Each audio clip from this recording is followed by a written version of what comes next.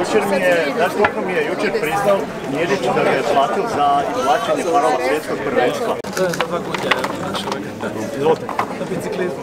Da. Skoro ko pljuska. Sa žima se ne se hvala. Pa vama. Ugodan dan. Sretan dan. Može u sve veliku vrućinu. On je propušen. To je stara. Standardna mjera. Da, da. Izvolite, ovdje vas očekuje svečani poslovi našeg rada. Molim vas, izvršite pregled. Prijava podnio poručnik Bojan Keginić.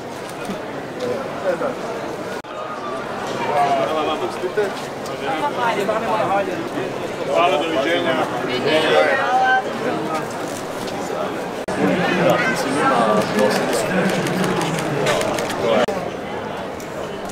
Ovi momci. To su stvari uniforme.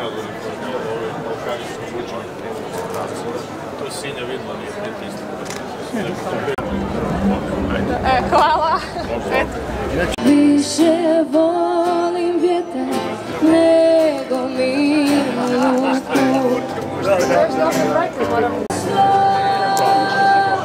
Poštovanje, svako dobro.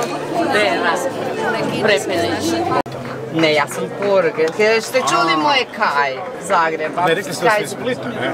U Splitu sam bila kad sam vas zagrlila, poljubila pred svima. Čujte, ovo izgleda, ovo izgleda, ako ste bili u Japanu, jeste, niste. Nisam, ja, ja tamo- nisam dalje od Zaprešića mogla. Tamo imate, dakle, to je bilo prije 30 godina. Moje.